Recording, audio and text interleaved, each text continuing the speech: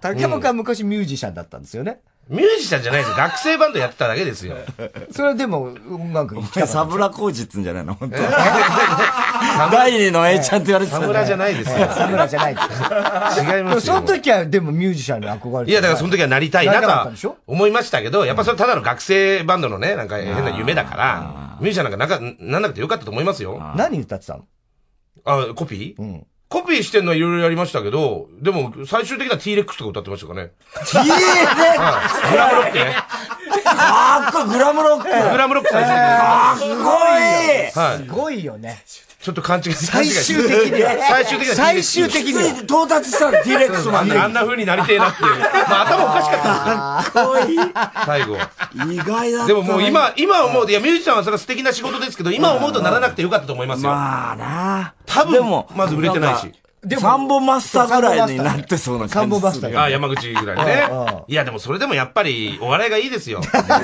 いや、だってそんなもんさ、ミュージシャンなんか俺がガキで知らなかったから、全国ツアーとかいいなと思いましたけど、今全国ツアーとかやるからめんどくさくてたまんないですよ。こんなステージを全国で何回も何回も。たださ、あれは思わない一個ヒット曲あるとさ、その歌は繰り返し、だけど、ネタは笑いはネタはほら、それはそうねかもしれないはいはいはい作り聞きゃ聞くそうそうそう良くなるみたいなのあるよねそうそうそうそう歌はねそれ羨ましいとは思わない。いや、でも飽きません？新しくなんかこう作ってるからこそこう新鮮味があるけど。やってる方はね。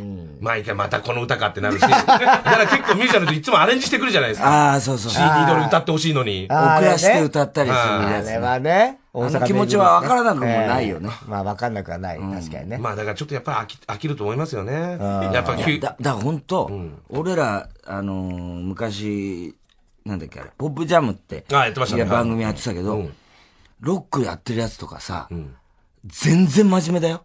ああの、お笑いなんか。はいだから俺ら、リハ、リハでネタやれって言ったら怒るじゃん。そうですね。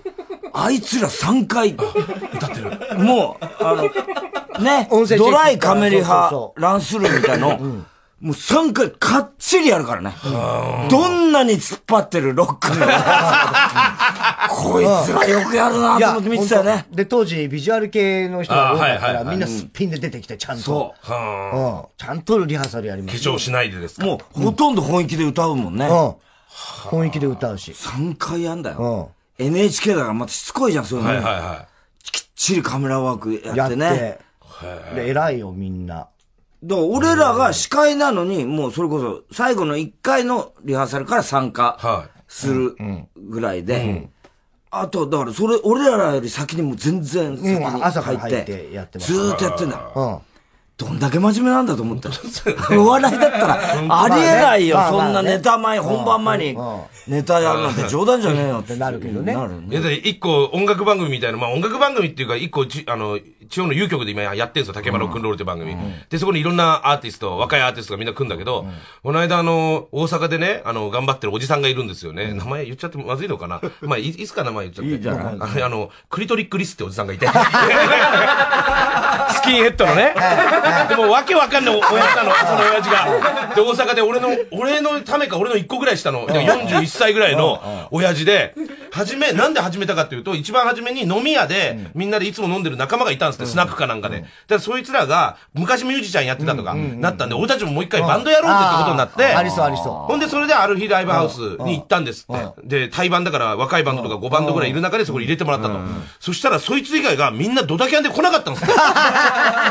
でもそいつ楽器も何もできなくて。だから、でもお前なんかやれよって言われて、お前らのバンドろっつって、そのクリトリックリストをさ、酒飲んで、酒飲んで、あの、ステージ上がって、なんかラップもできないくせに、今日は俺が歌うぜとか言いながら、やりアドリブでやったの。それが火ついちゃって嘘、みんなにちょっと可愛がられてみたいになっちゃったんですよ。で、そのクリトリックリスが来て言ってたのは、え世界変えてやるよとか言ってるバンドのやつらは、ほぼフリーターっつって。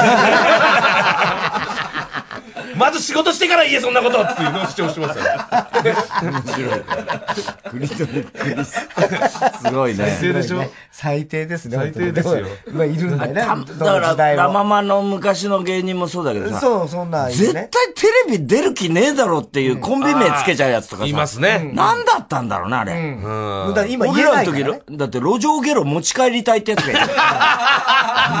らテレビ出る気あんのかやってリーダーに散々で、それ解散したのよ。そう開催してで、一人のやつが、お前もあんな路上芸能持ち帰りたいだテレビ出れねえぞって、黙帰ろうって言ったら、じゃあ変えますって。うんこマンに。もっと出れねえよ、バカ野郎。わけわかんない。バカだな。